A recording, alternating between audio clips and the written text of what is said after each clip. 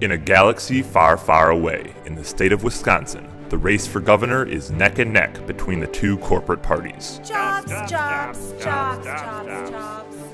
Meanwhile, light years behind the two dominant candidates, Mary Jo tunes up her jalopy for an anti corporate people power boost to win.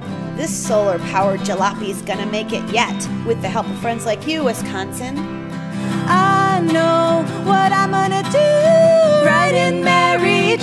you too. I know what we gotta do. Write in Mary Jo Walters for governor. We got people working low, minimum wage jobs, and prisoners working for nothing. We got frac stands, mining, and cities full of cars. Still, the politicians are bluffing.